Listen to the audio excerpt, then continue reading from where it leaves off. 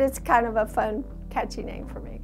Very upscale um, consignment store for furniture and accessories. It's generations of good times for a lot of people. Um, it, it's fun. We have a great time in the store, helping people take care of new life situations. We love being on Frankfort Avenue and being a part of that group. Uh, we are two blocks toward town from Cannons Lane. So you get to Cannons Lane and start looking on the left-hand side. We are two blocks from there um, at the corner of Crestmore and Frankfort Avenue. Um, so we're almost in St. Matthews, and yet we're Crescent Hill. It is two buildings. We have both ends of the retail center. One end is for receiving, basically. However, it is um, a showroom, just exactly like the other end. There's no difference in what goes in which building or anything of that nature. A lot of people just like to mosey through and do it on their own. Um, we have such a variety. It's, it's um, set up in distinctive uh, little rooms, which will help them navigate it a little easier. It's a lot to see it the first time you come. And there's little nooks and crannies through the store. So they'll go around once and then they go around the opposite direction and then we have another store that they can go to down the sidewalk and have five more rooms there too. So a lot to see. We get a lot of really pretty furniture, uh, a lot of neat accessories and pictures and paintings and mirrors. and. It's a range from about eight, early 1800s to yesterday. It's a very wide range. It's all consignment, um, comes from estates, it comes from people moving up, moving down, moving over, moving to California. Um, it is um, eclectic as you can get. Sometimes we don't get it off the truck.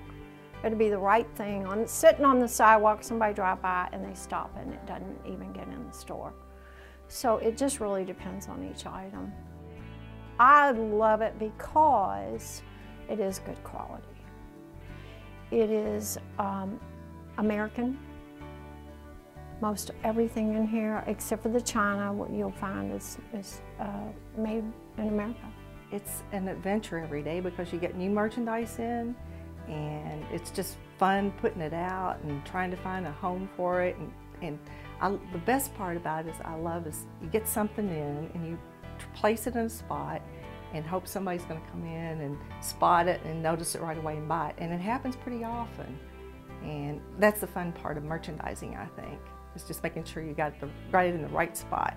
We take it seriously when someone wants us to sell their items.